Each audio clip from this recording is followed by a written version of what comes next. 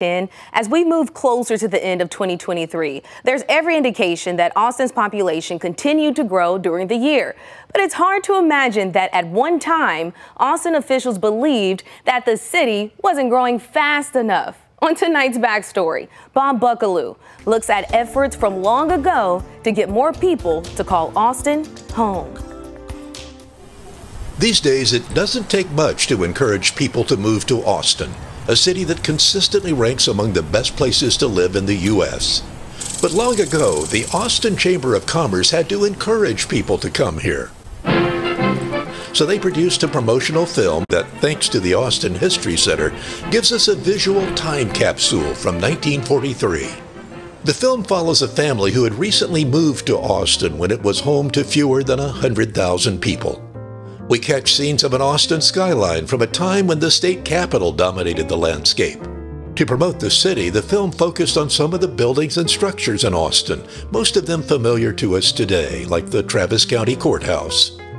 The Moonlight Towers, only 15 of the original 31 remain. Texas Memorial Stadium, much smaller then. The main building at St. Edward's University when it was a school for men only. And the film shows us a few things we might not have known. 15th Street near downtown was once a winding tree lined boulevard. And there's this attractive roadway. Would you believe that this was once a cow pasture? Under a program of civic improvement, it was changed into East Avenue, a pleasure to the eye and a major north south thoroughfare. Where is East Avenue today? It's now called I 35. Of course, there was no indication that the Austin of 1943 had to deal with traffic congestion, or that affordable housing would become out of reach for many.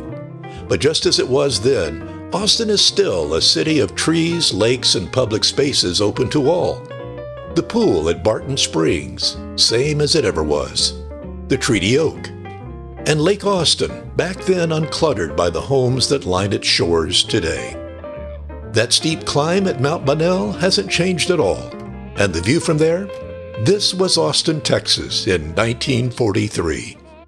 As this friendly city glows in the light of the setting sun, you feel that it was always intended for Austin to be your permanent home.